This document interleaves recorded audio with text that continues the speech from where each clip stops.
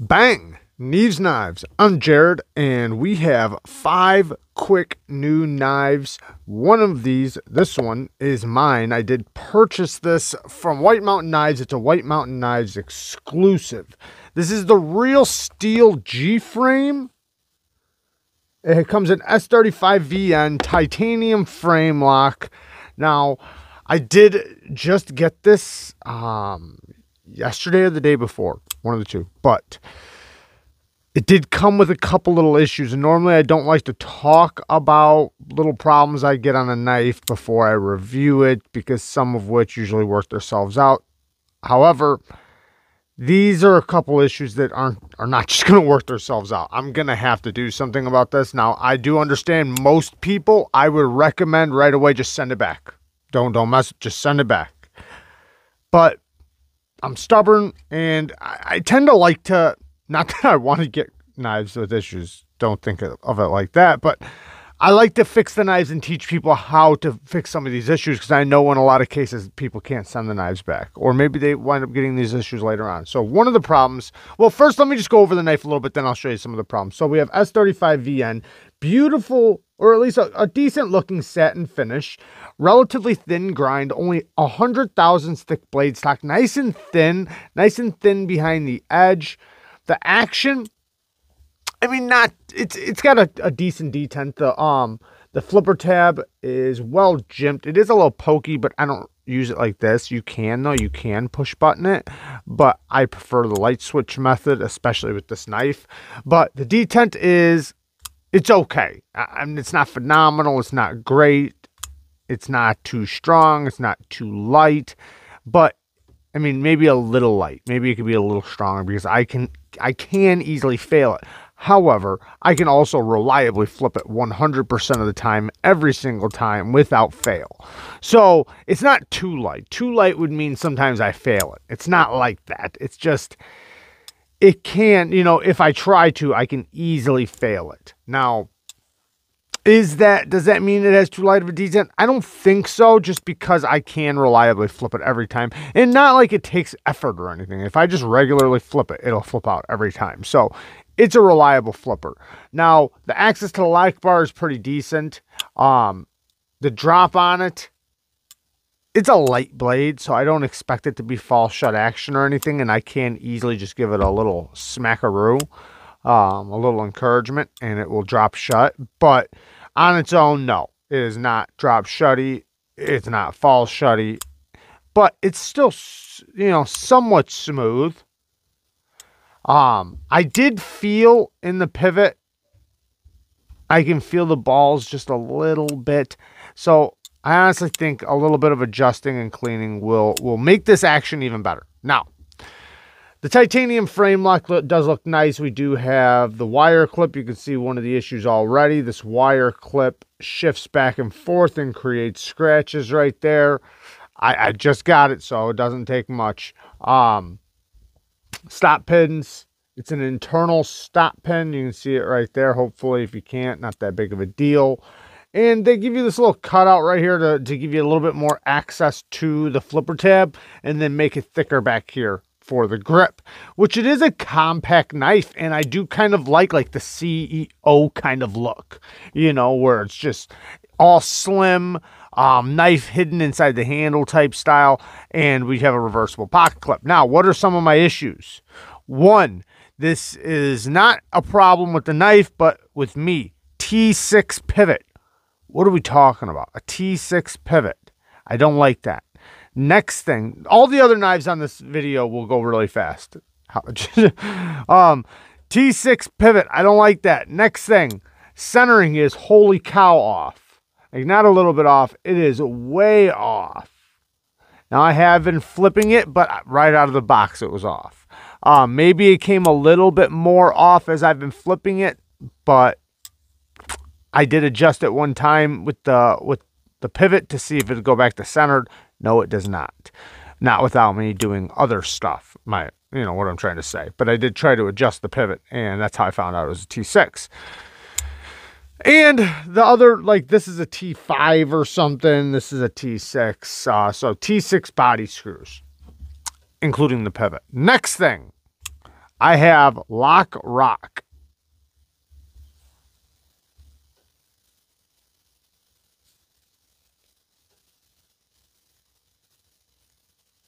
I could totally fail this thing if I wanted to. If I put enough pressure on the spine, it will fail. Did I do that? No, because I don't want it to be worse than it is. Um, I'm hoping I can do something about it. I'm hoping I can fix that. We'll see what happens. Um, yeah.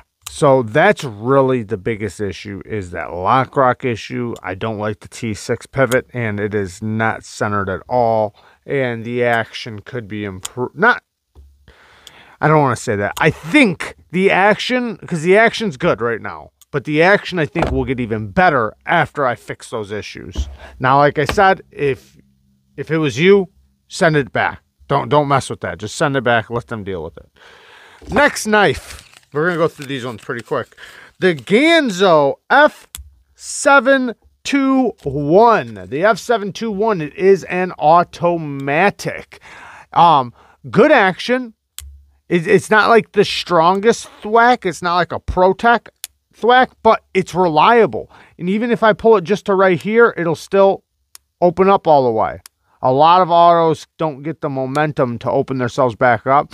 So the spring is consistent all the way.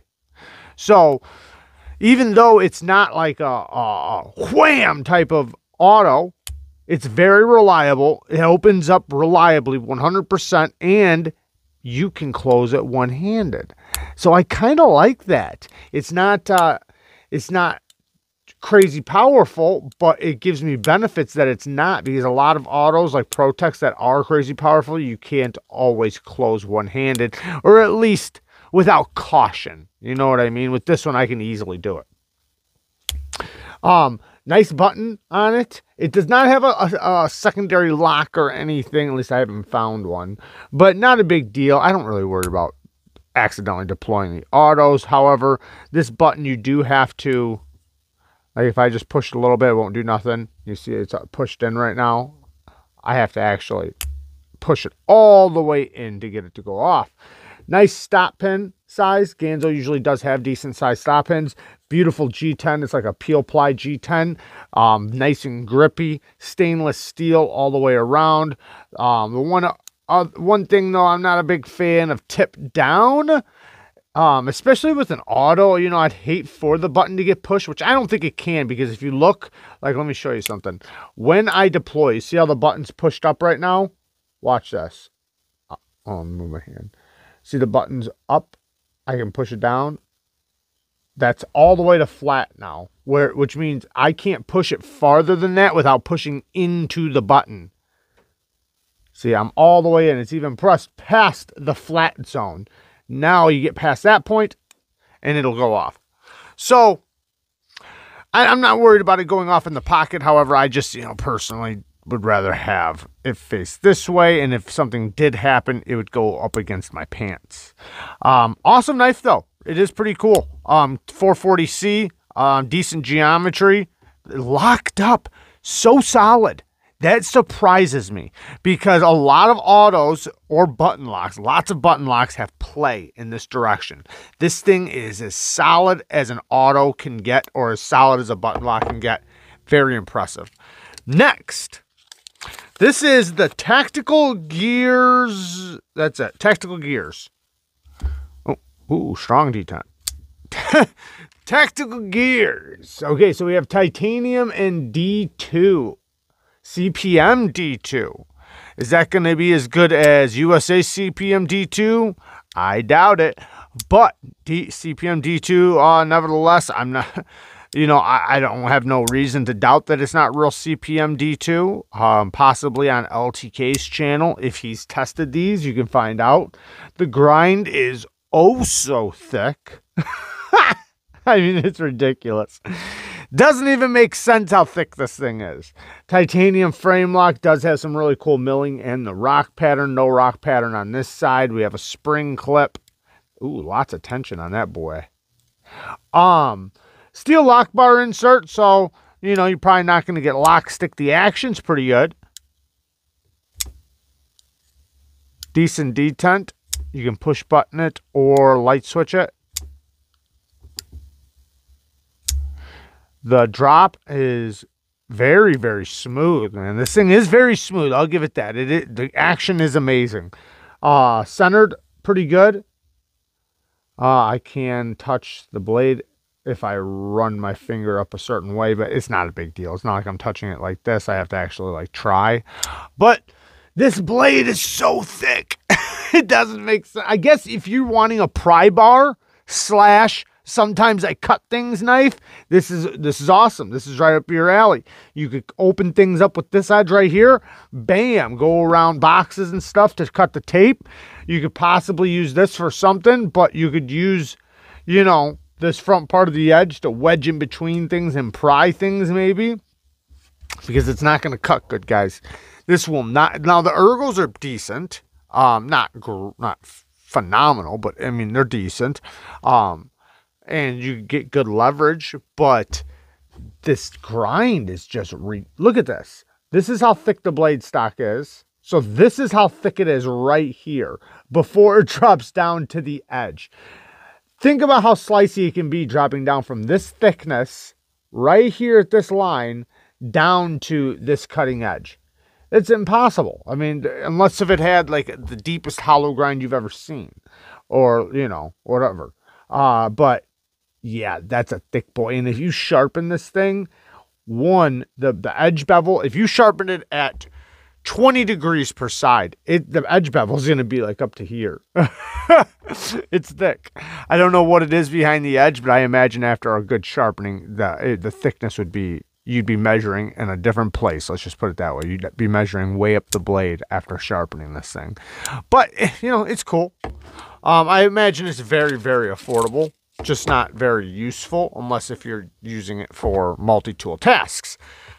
Oh, also, thanks to Cue Ball for sending all the other knives aside from the first one on this list. I appreciate him with all the support he's given us. Thank you, thank you so much, Cue Ball. We love you and appreciate all the support, man. Two more. So we have the Twosun TS 192. This is an M390 and it's a Maswa Mokhtar, one of my favorite Twosun designers. This thing is pretty awesome. It is really awesome.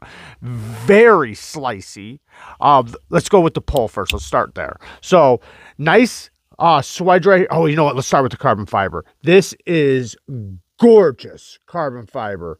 It has well because it's the it's contoured it's like um, it's very wide or not wide. It's we'll go through it, man. It, it's not thick, not too thick, but it is contoured, so it's slim in a way. It's slim for the how wide it is here, how wide it is in this direction. It's slim in this direction. You know, if you guys understand what I'm saying. But the the carbon fiber is you get a lot of cross cut section. See that?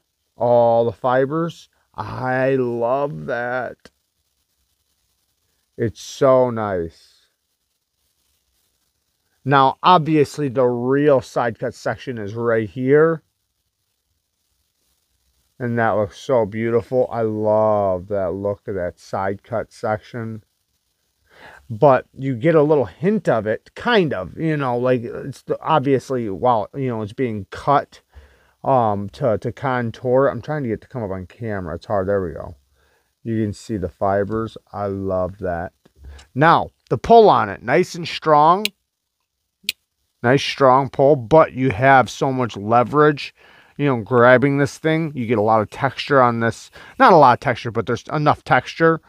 So the pull is pretty easy. Nice snap.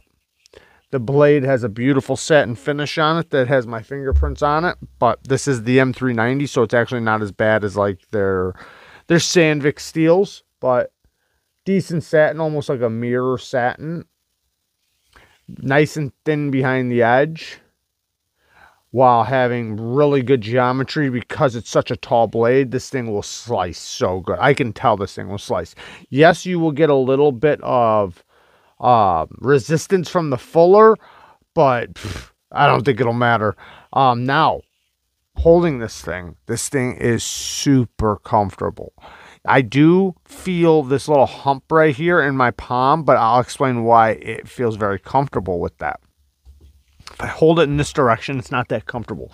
It's okay. I'm not saying it's bad, but that's when all of a sudden I can feel the thinness. I can feel this edge right here a little, a little bit. Mostly I feel the edge here on the spine in my hand because like I said, it for the how wide it is here or how broad it is here, it's not uh, very thick here. So when I go from this grip, you know, like the push cut grip, which I can absolutely do, and turn it to this grip, this turn right here or this curvature of the handle goes right into this part of my palm and it nestles itself so comfortably.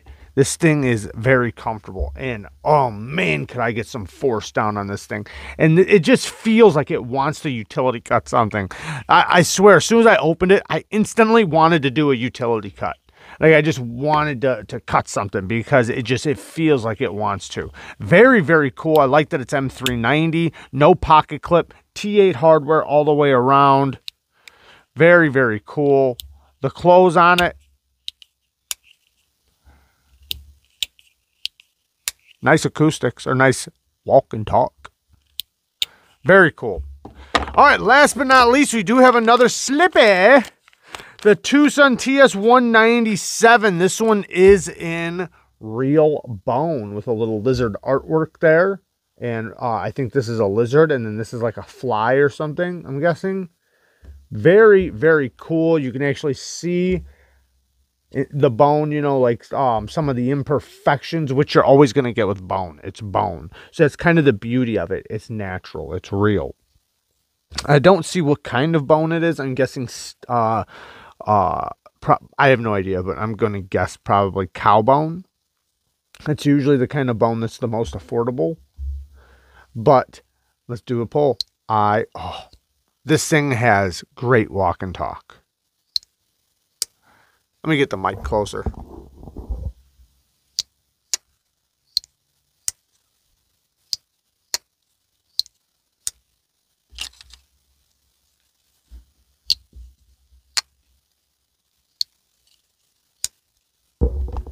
Amazing walk and talk, and I love this blade shape a spear point blade. Oh, it's, I'm to say it's a spear point. The tip is slightly higher than an actual spear point. You can see we have a little bit more belly here than we have on the top part. However, it's perfect. It's great. It's such a beautiful blade shape. I love this blade shape especially on this little on a little slippy like this this will be so useful. You could do utility cuts easy you got a little bit of belly. You could do a push cut if you really wanted to. No it's not insanely slicey geometry but it is very reasonable but it does have quite a thick blade stock. That's the one downfall to this blade right now is it does have a little bit of a thicker blade stock However, sometimes people do want a little bit of a thicker blade stock, even with a smaller knife like this, because it does add to the durability of the knife. They could possibly get away, especially with a, a little bit of a blunted tip. You can get away with a little bit of light, light duty prying, you know, with while being confident. We have M390 steel, and it does get down to a reasonably thin edge. So this thing will cut just fine. I mean, no, it's not a laser beam, but you know, in a lot of slip joints, that's kind of the beauty of them is that they are laser beams. In this case, it's kind of like a, a mid-range type of grind, but it's a beautiful grind. I mean, I think it looks beautiful. I think it is well done. They did do a nice tall flat on it. They didn't go like halfway down. You can see we have a little, uh, the thickness right here, and then it instantly starts going down to the edge. Beautiful, man. This thing is gorgeous. Um, the liners, um, I don't know if they're titanium or steel. Um, I guess I could check really quick. They are titanium. Okay, we have titanium liners. Uh, steel back spring, supposed to be though. Um, nice, man. This thing is really cool. Nice and comfortable. Four finger grip. It is long enough for a four finger grip. This is a perfect size. Um, slippy. You could easily put this down into a nice little slip, drop it in your pocket, or just drop it like it is. And, you know, let it Man, that walk and talk is so nice. Um, but there you guys go. I love you guys. I thank you guys for watching. Don't forget to drop a like. Peace.